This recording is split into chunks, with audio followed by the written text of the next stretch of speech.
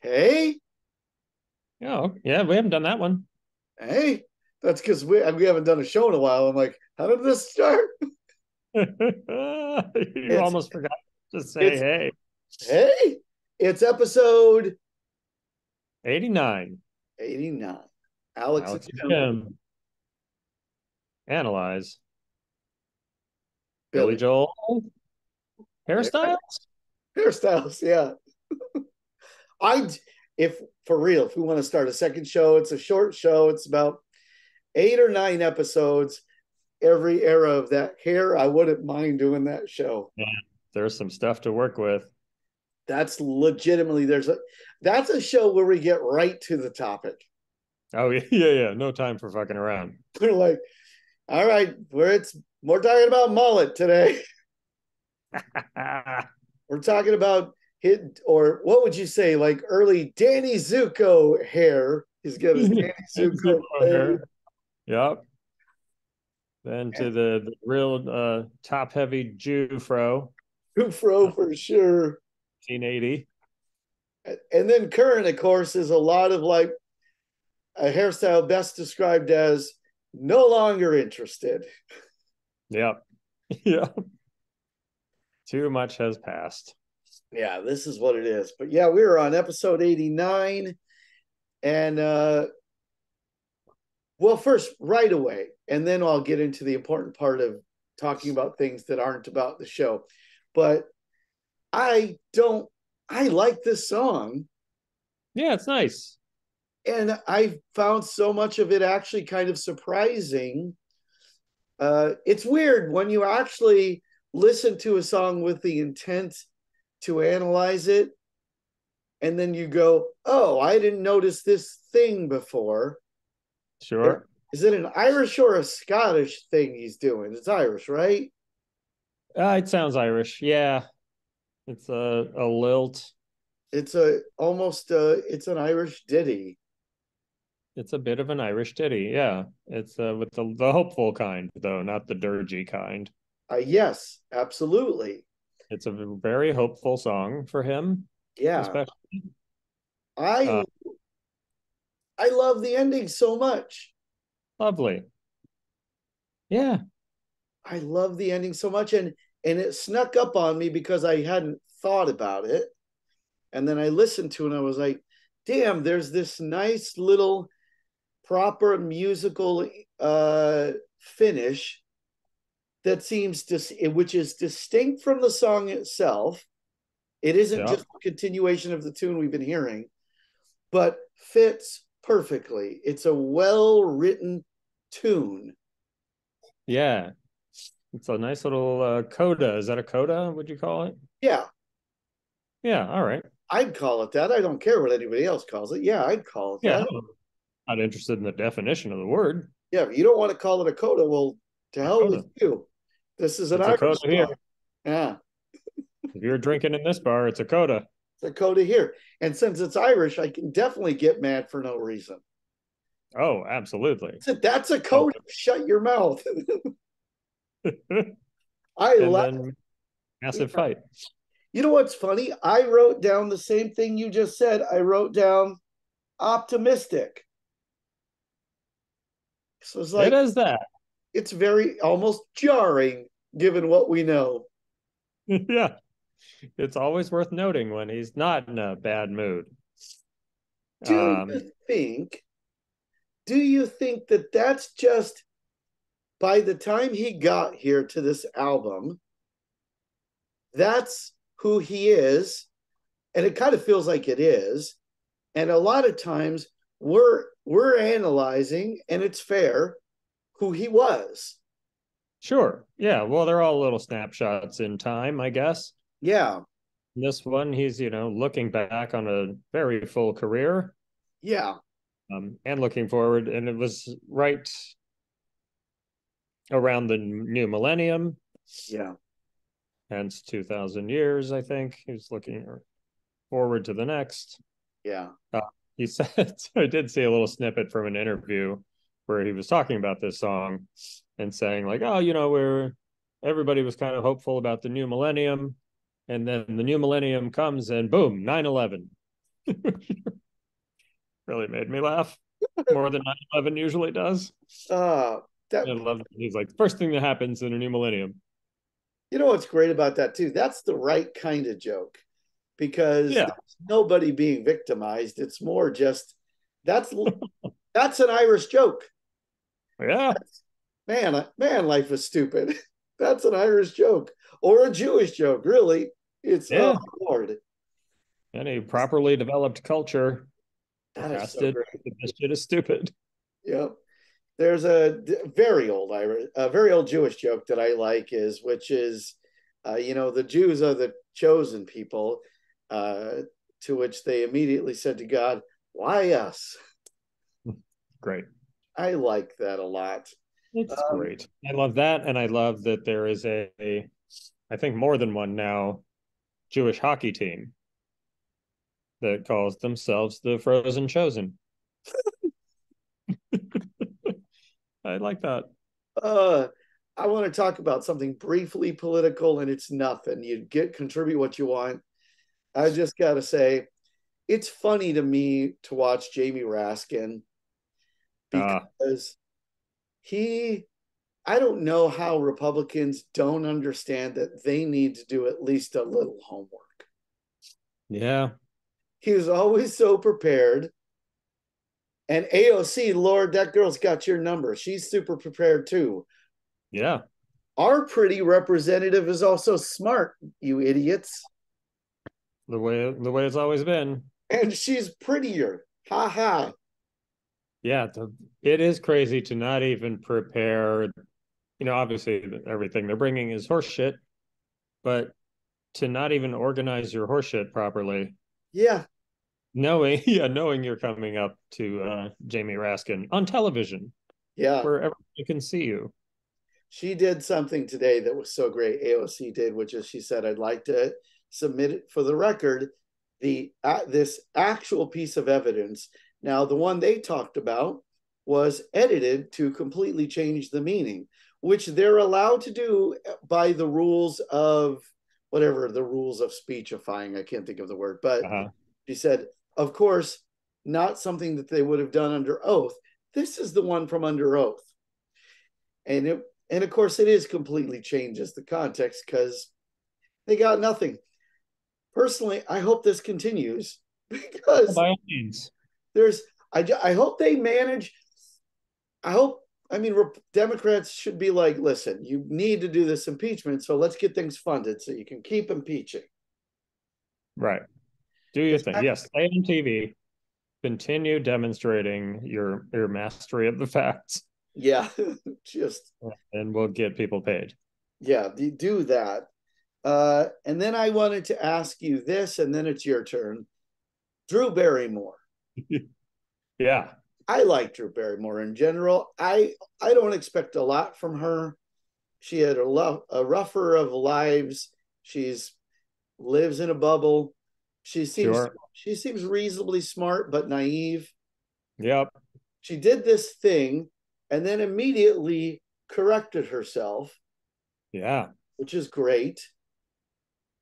Some people have speculated, do you think the fact that Drew Barrymore and Bill Maher and whoever else immediately backtracked, created the daylight for them to go, oh, I think we're going to have to actually give something to the writers and not, I don't think we're going to break them. Um, I think it was fully coincidental timing wise. Okay. I don't think it was a factor. Okay. Um, I don't necessarily have all the knowledge you'd need to make that call. But yeah, I think it's just a timing thing. Okay. Worked out that way because I don't think those shows coming back would have saved anybody. yeah. would not have saved studios from the hole they dug. I yeah. think the Barrymore especially was out to save her reputation. Uh, and rightly so. She did the right thing.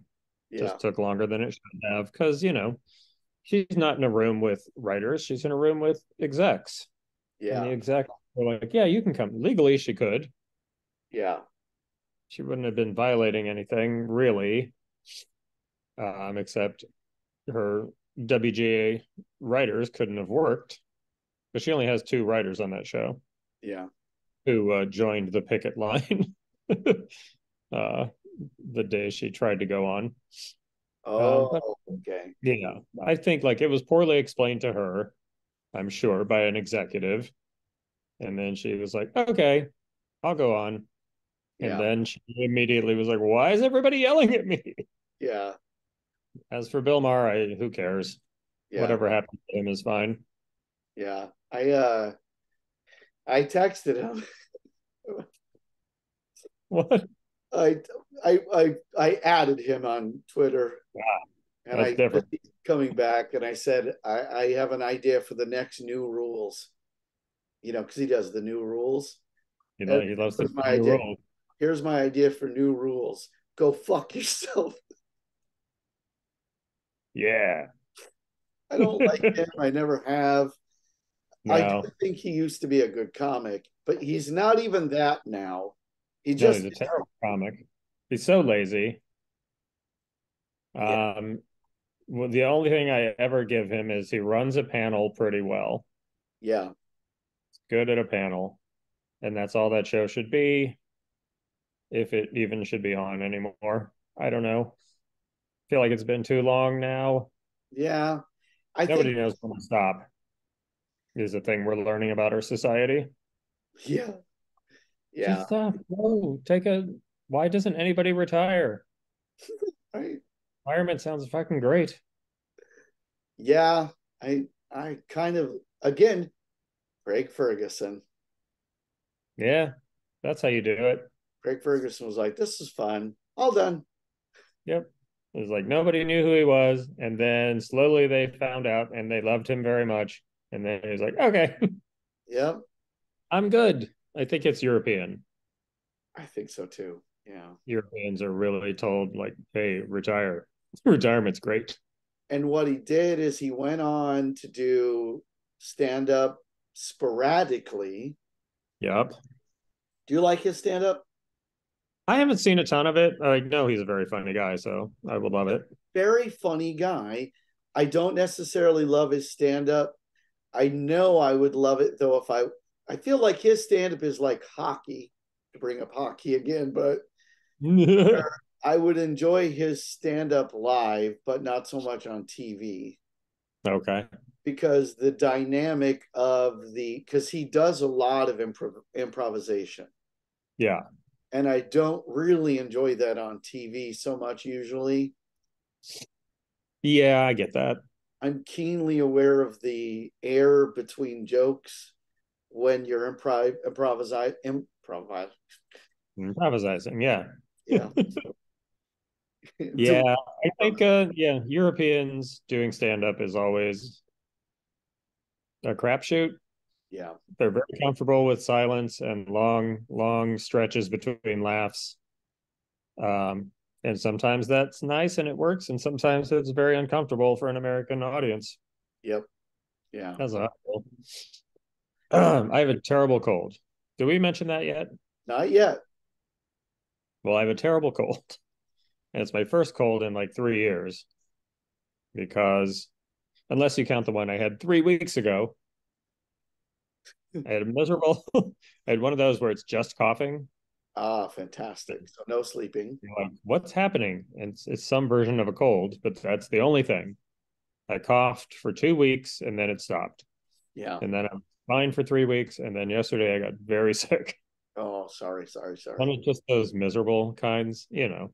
yeah So I'm doing the cough syrups and the Zicams and all the things.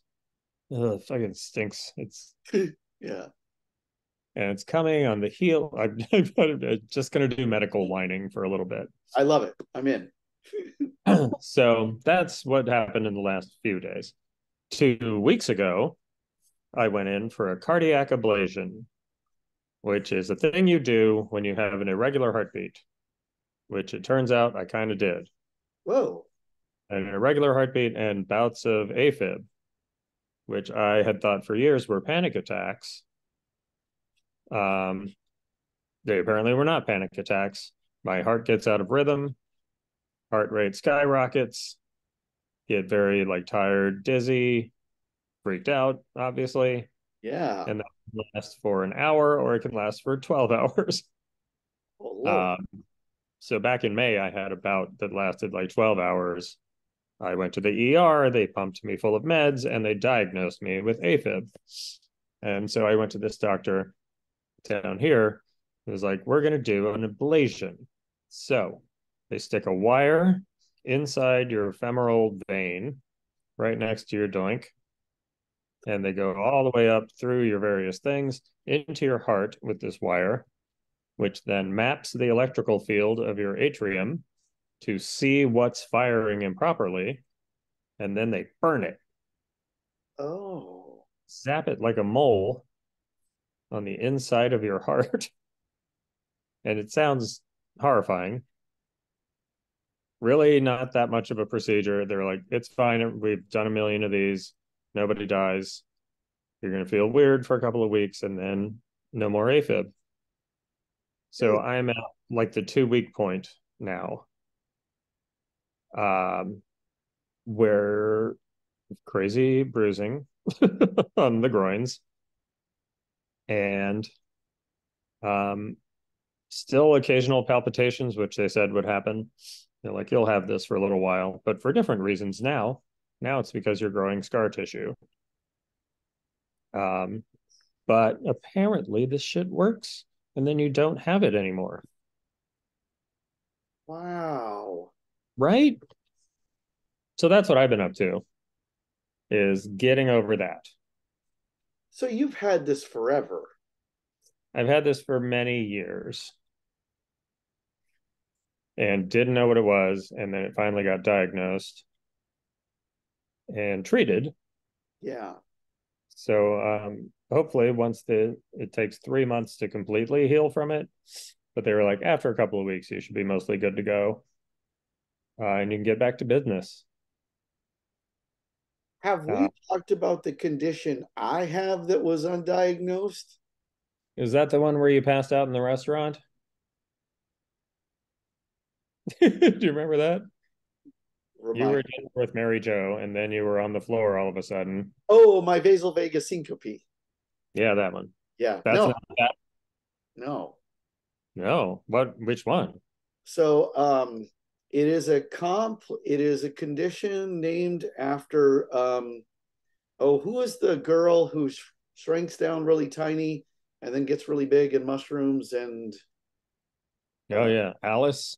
yes it's called alice in wonderland syndrome and i never knew what it was and we finally figured it out. When i was a kid um when i when i was a kid there was a, like a week and a half where my parents were really nice to me. And then i went in and got uh, an mri hmm and we have subsequently figured out oh they thought you had cancer. Oh wow. so everyone was nice to me. And then no cancer's like all right back to business. Uh, so um, what had happened is what would happen is when i was at school or it happened at school more than anywhere else but it could happen other places the room would change size and Whoa. people's voices would either speed up or slow down usually speed up Wow.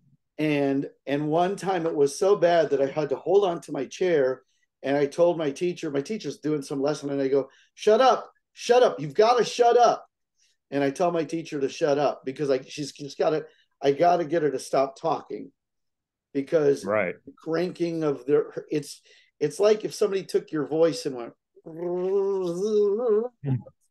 Oh man. uh, and that would happen every now and then. And then in my 20s, every now and then I would get out of bed and I would look around and I would think, Am I a foot taller? wow. And I'd have this feeling that I was taller than I had been the night before. And so it's called Alice in Wonderland syndrome, and it happens mostly to kids, and then eventually it usually goes away. And here's what it's usually caused by it's usually caused by head trauma Okay. or severe flu, both of which I had as a kid. No, great. Because one Wow. time I was walking home from school and a wall fell on me. What? Yeah. So a little kid walking along, there's this wall, just goes. wow. I, I put my hand on my head and I was like, because I didn't hurt. And then I looked at my hand, covered in blood. Ah, yeah. run home, stitches. Wow. But um, never heard of this. Neither had I. Wow. Tends to go undiagnosed less now because people know what it is. yeah, that helps. Not wild. When did it get diagnosed? Uh weeks ago talked to a doctor said I bet that's what this was. Wow. wow. Wow. Not wild. It's wild. Yeah. And you oh. had this heart thing that you thought was anxiety. When did when was the first one? Hard to say. That's the thing. It's hard to track because maybe I did have some real panic attacks. Hard to say for sure. Yeah. I'd say probably about five years ago is when it started happening. When I started having these, I would eat some, and you know, sometimes you swallow a bite that's too big yeah. and it hurts your chest. Yeah. Well, I, to me, the sensation was this food is stuck here now and I'm going to freak out because it's not going into my stomach. So I would have, I would start freaking out about that and then walk around the apartment until I got lightheaded. And then I would often go to the nearby emergency room and stand out in front. Because I'm like, if I go in, then they're going to run all the tests. But if this is nothing, I'm wasting time and money. So I would walk around out front of the ER until I felt better. And then I would go home.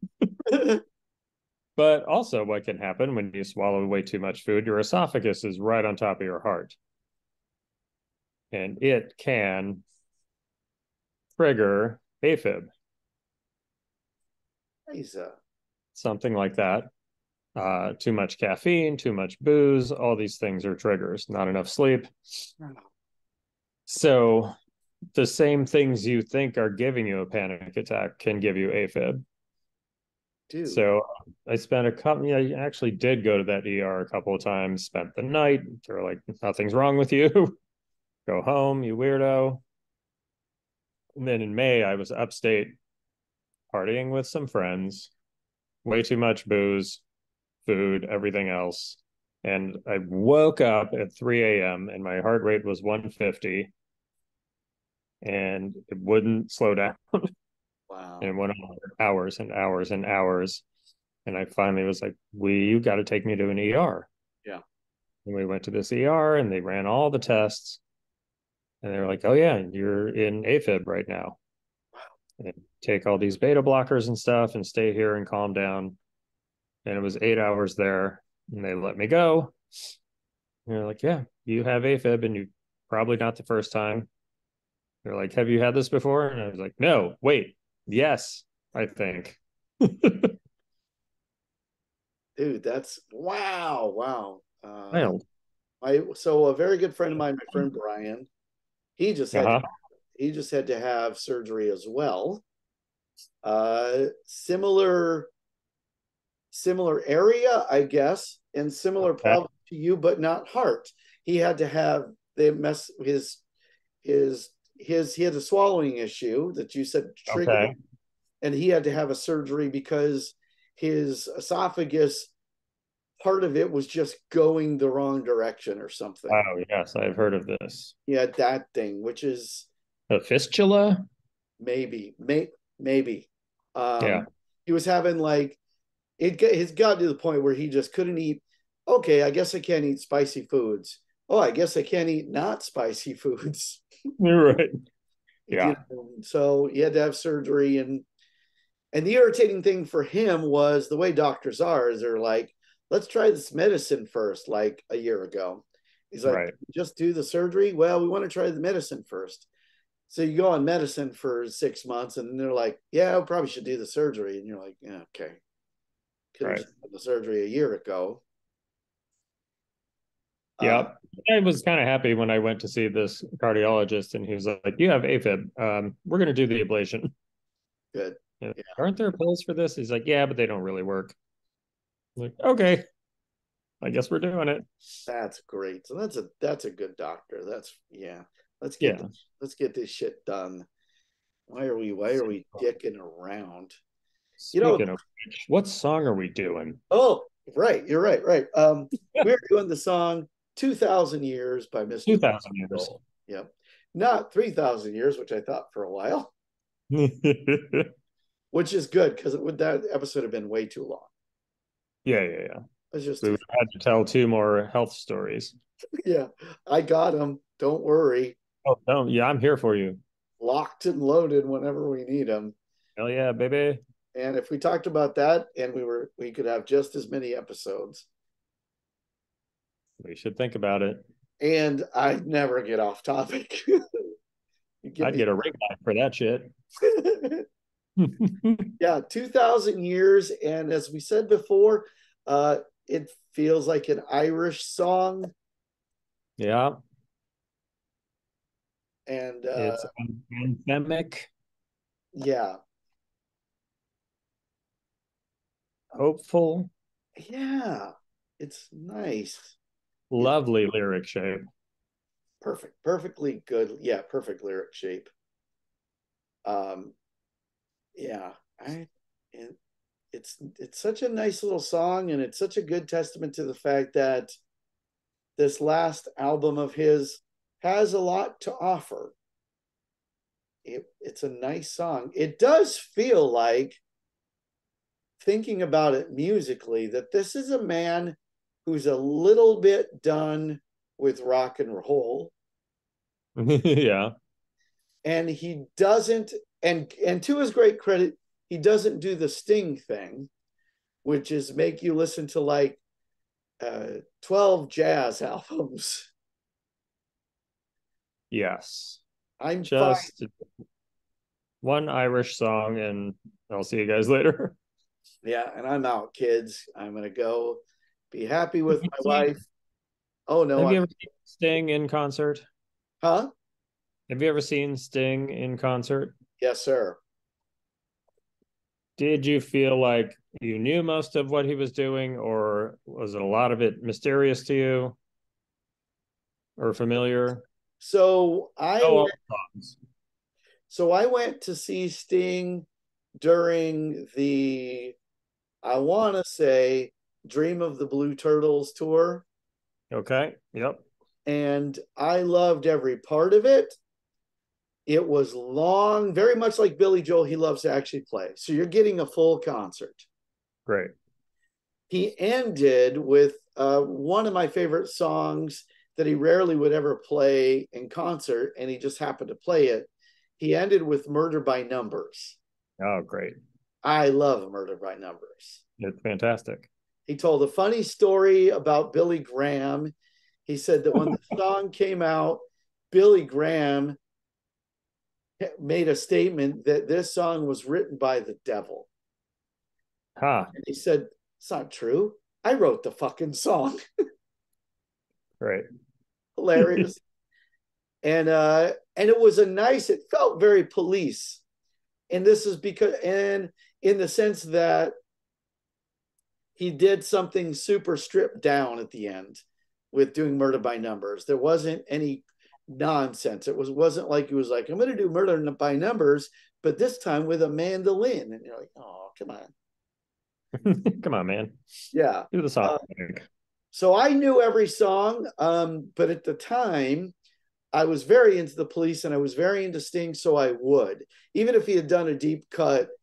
Um, he did. It might have been later because he did do Englishman in New York, which I love that song as well. Great. Um, All what's right. your experience? I've not seen Sting, Oh, okay. but I have had the experience of going to see an artist that I thought I knew pretty well and then not knowing a lot of the songs. Who who'd you go see? Um, that happened to me. This one's my fault mostly. Bruce Springsteen. We went to see, and it was a full hour and a half before I recognized a song. And I know a good, like I know his hits, Yeah, um, but he's, you know, he's playing here. He's got to do fan service. these people know his work inside and out, so he's got to do like, oh, this is a deep cut from my first album, and I'm. He never said anything. also, he just played the songs. Yeah. One after another, and I was like, "What are these?" Soon, everything he was doing. That's uh, then we went to see Jackson Browne, and he's very much trying to sell his most recent album, and that was not good. Yeah. He was lovely, and you know, a lot of the songs were like, "Oh, this is probably good," but I don't know it. I want to hear the ones I know. Yeah, and it there was not much room for that. Yeah. Um. So I like it. You know, tickets are expensive. I like to get what I want, and uh, Billy Joel is a great experience for that. Absolutely, Ladies, by the way, are for sure a good experience like that. You're going to get the hits for sure. Yep. Yet if I had if I had a million dollars, you're going to get um, all of it. Fantastic. Yeah, that's uh, it's nice that way. It's um, but yeah, Bruce Springsteen too is just I don't know. See, he, you want to have seen him if you happen to have gone to see him right after, you know, Born in the USA came out, you'd have loved everything. Right. Because he's playing that top to bottom, but we're so many years past that. Yeah. And I think he's not, you know, it's not his favorite album of his. Yeah. by any means. Yeah. Um, I think he might have played two songs from that. See, I think he's the opposite of what you're. I think he's the opposite in the way that I don't think he does a lot of fan service because I think he does a lot of Bruce Springsteen service. Very good chance. Like I, I went and saw Diana Krall in concert. You know the Diana Krall, right? Sure, great. What a great show! And it made no difference that I was there or anyone else was there. I don't know ah. if she ever looked at the audience and we need her to. Yeah. She's such a musician in the purest sense of the word. Great. She's a performer in as much as you enjoy what she's doing. Yeah. But not so much an interactor. No. Which is and fine. I, I don't, you don't have to tell me why you wrote this song. Yep. Yeah. And she didn't write her songs because that's not what she is. She's a jazz musician. She's like, here's, you know, 40 standards we all know. This is how i do them. So all right see we tried to stay on track. It did not happen. It almost worked. We started right. talking about music at least. Yeah yeah yeah we're getting closer guys. We're circling in. I think next episode we'll get to the song. Uh the song is 2000 years uh, why don't i start? But first let me ask you a question. Yeah. Look at the shape of the lyrics do we do it uh, do we alternate or do both of us read two?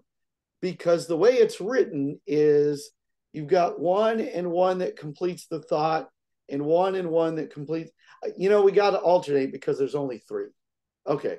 All right. I get it.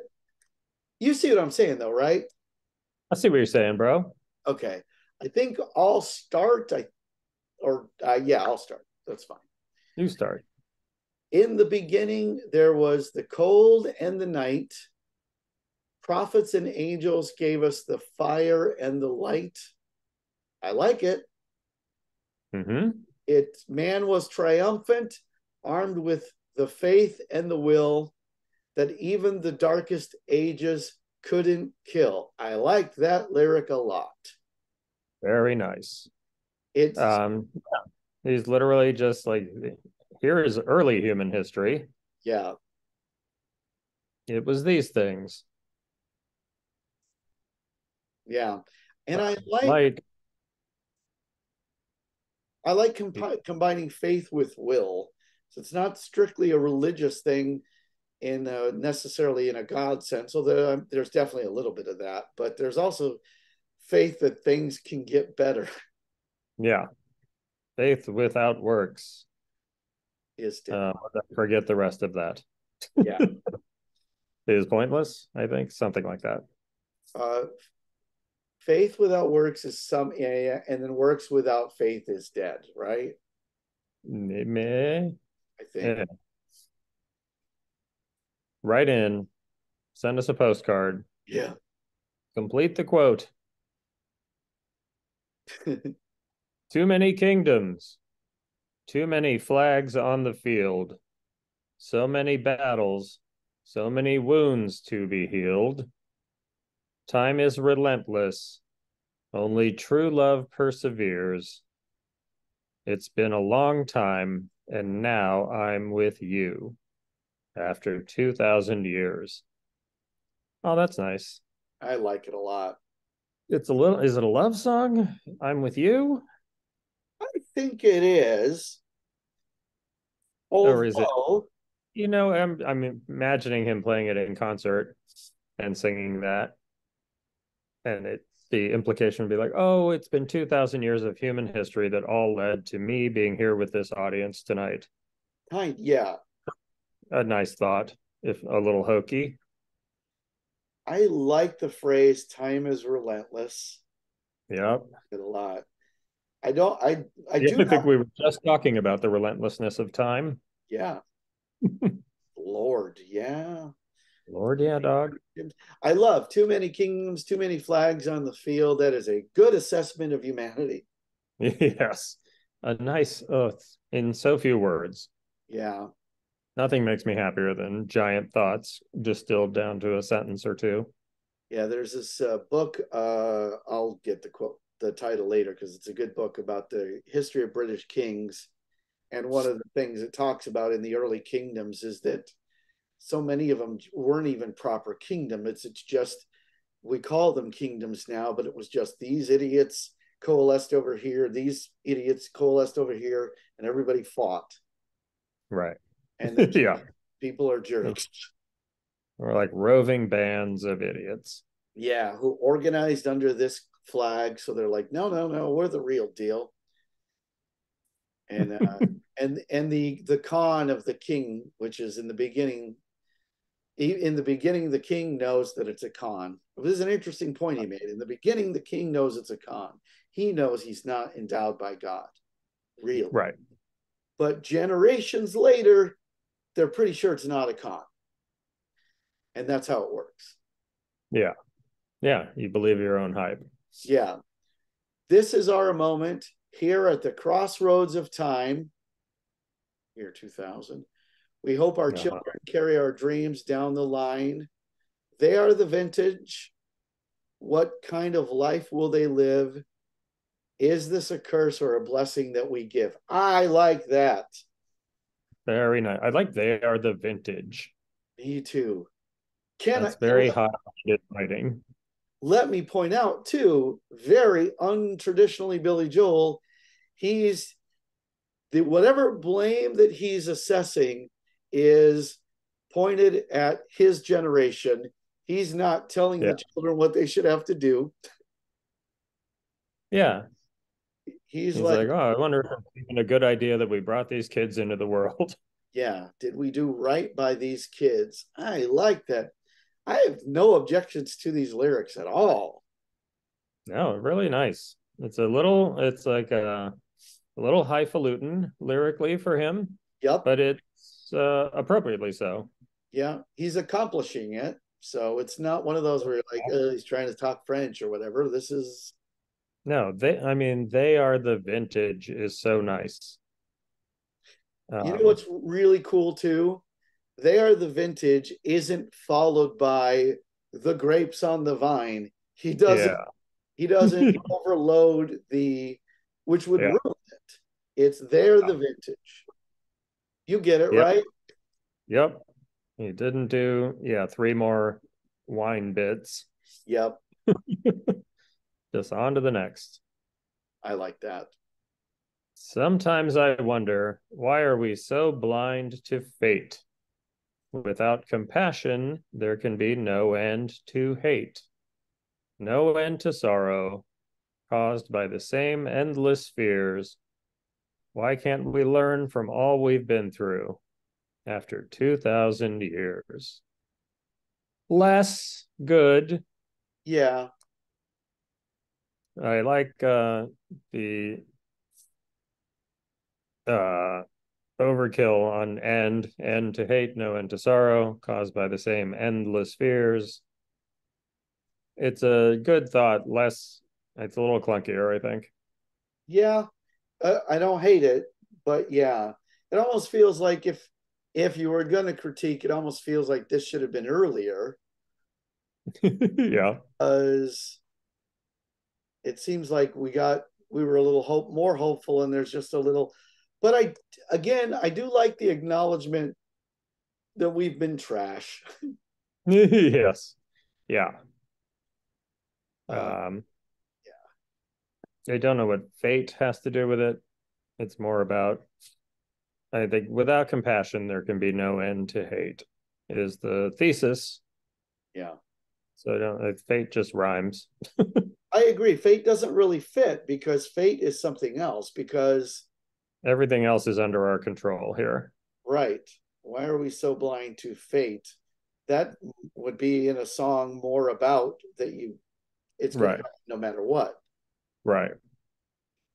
The whole point seems to be that we can control our destiny as humans. Yeah. Yeah, you're right. That's that may be the single thing that jumped out at me too, as far as where the clunkiness here lives, is just Yeah. mainly that. Mainly There that. will- yeah.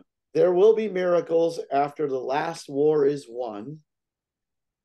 Science and poetry rule in the new world to come. I like that. I I like equating poetry with science Yep.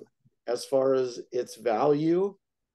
Yep. It harkens back to faith and the will. Yeah.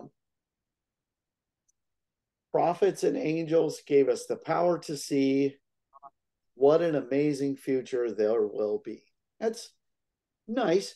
It's it's uh it is it is nothing wrong with it. I do like I like prophets and angels. What an amazing future there will be.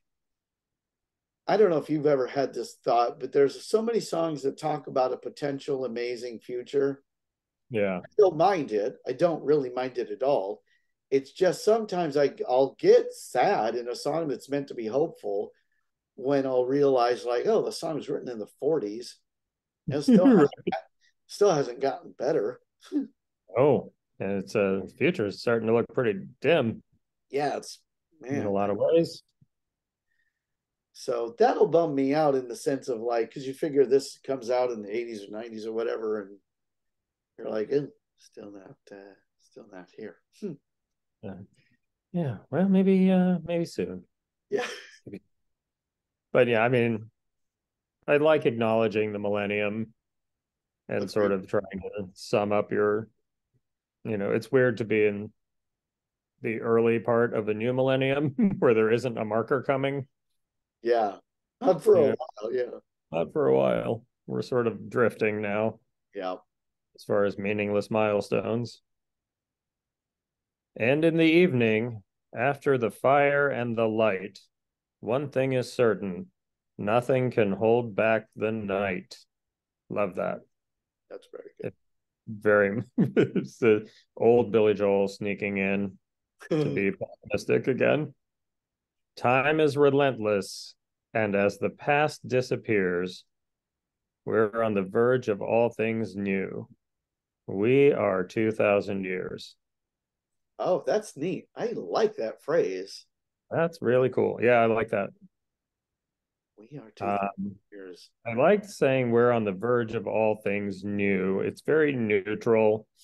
Yeah, We're on the verge of a fantastic future. It's smooth sailing from here, or you know, not apocalyptic. It's just new. It's just going to be new, it's whatever it is. Yeah, It's whatever it is. But uh, here we are. you know, and you, I like what you said because I like the yeah, because old Billy Joel's still there.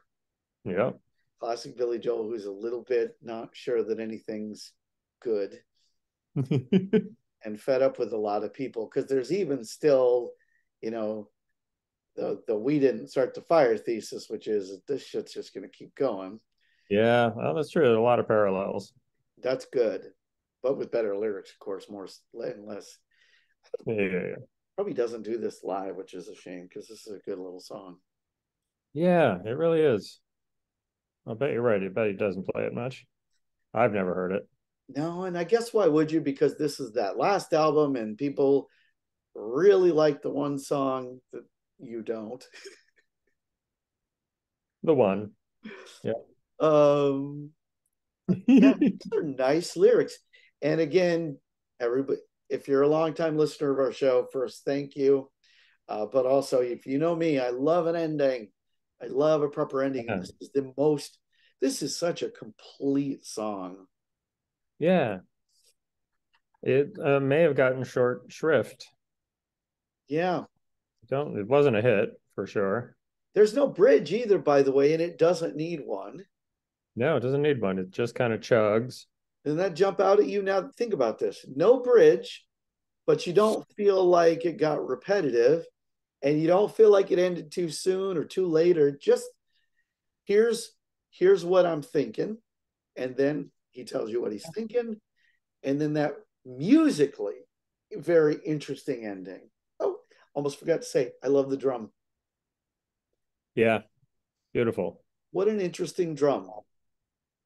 Irish drum? That's what it sounds like. It's not a rock and roll drum.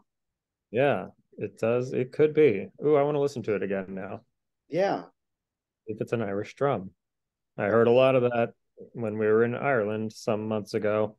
Rad. Of Irish drumming in pubs. Yeah, it's great. There's Pretty sound.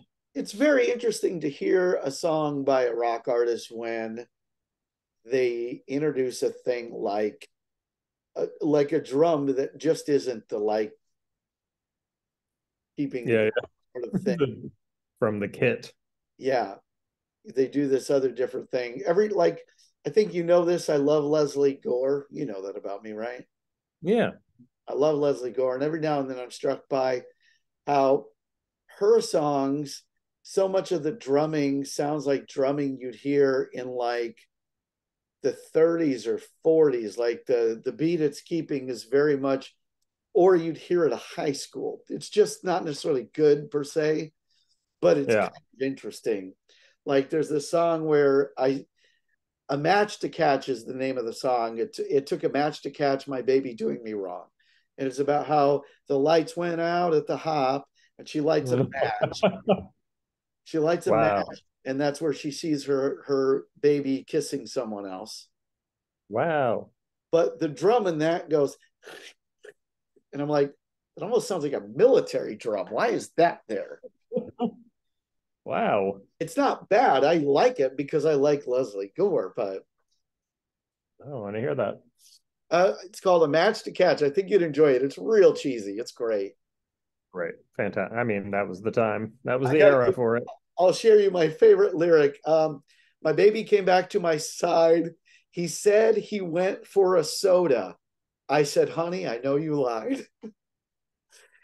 and I can't help but laugh when she says soda. like he said he went for a soda. Such a goofy song Hmm. about boys from a girl who couldn't be remotely interested in boys. Fantastic. I love that song. All right, I I could talk to you forever, and that's not a joke. But I know you got a cold, so let's do our business, and then we could talk. We could talk as long as you want. I just don't want to hurt you. Um, yeah, I appreciate that. Ah, look at that. Uh, penguins. That's right. It's his song "Penguins." it's classic. Is it 2000 penguins? Probably way more. it's probably way more. Now, uh, let me. So I'll give you a. It's either an incredibly easy clue because you'll get what I was thinking, or it's Uh-huh. painfully difficult. Because I won't know what you're thinking. But it's like if if the same idea pops in your head where you're like, but I'll give you a really good hint, which is what is it they say about all these creatures that's really obvious in this picture? They uh, like to hang out together. Well, that's true. But what That's what true. else? What they do look they like say? tuxedos. Huh? They look like they're wearing tuxedos. True. And Could you tell one from another? No, they're all very much alike. Yeah.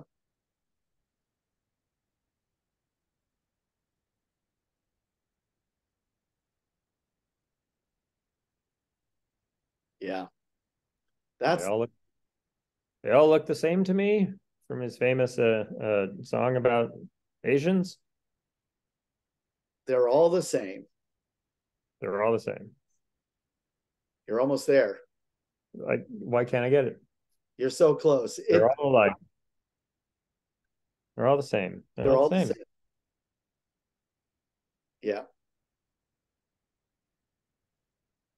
It must be the cold meds. That's okay. Um, I'm going to let you off the hook, but I think you'll love it. It's pressure. what? You're Wait all the same. You're all the same.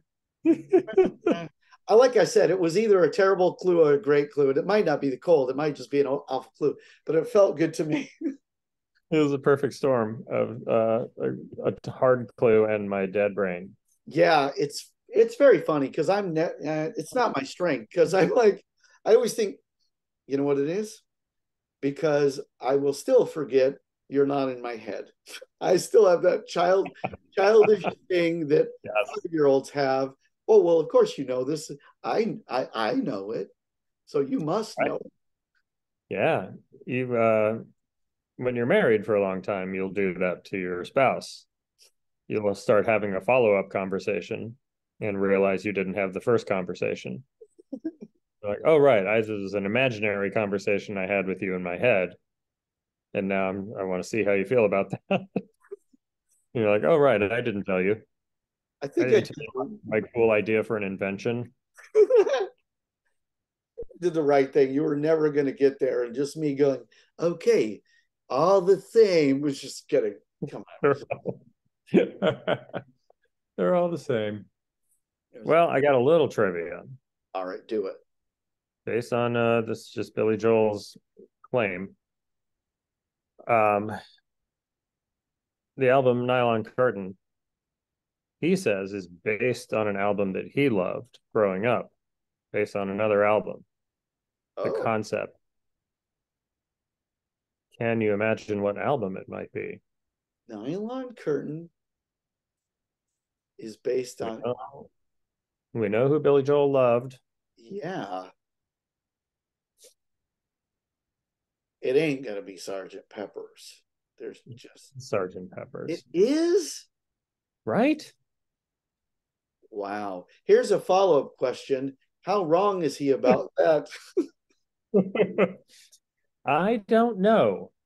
Certainly, there are like massive differences because obviously, Nylon Curtain isn't about a, a different piano player right.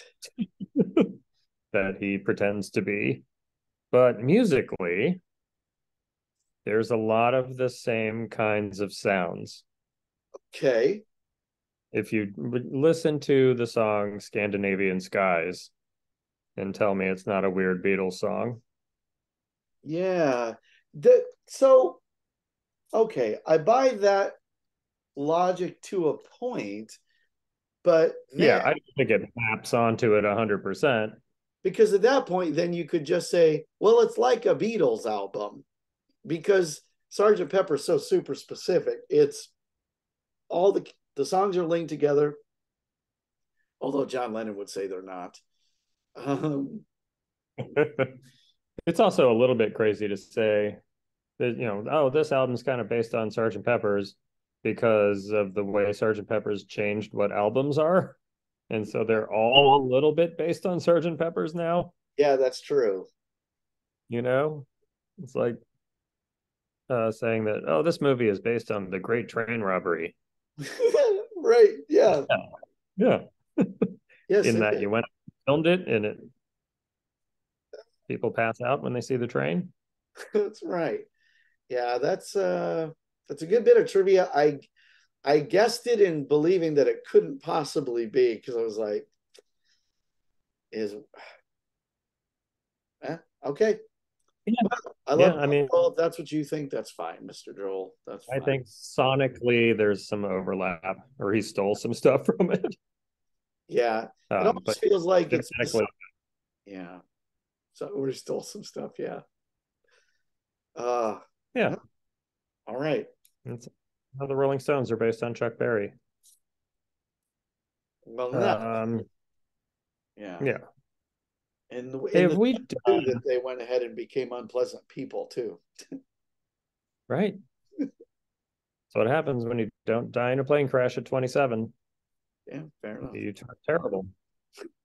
You get ablations. Yep. Have we done I got a friend? I don't think so. No, we have not. from the uh the standalone single written for a children's album. So it's not on a main album. It's not on a studio album. Great. That's nice. Yeah, Um, it's a fun little song. sometime in the future, I want to do another bottle episode because of Diana Krall, and the bottle episode will just be um, we'll each go over some of our favorite weird Billy Joel covers, or covers by other people of weirdly covering Billy Joel. Fantastic. She does one, and it's I- I don't think it's good or bad. It just exists. All right. Yeah, Um, yeah, I would go for that. which is the way people describe me. Weird but different. It's he, he exists.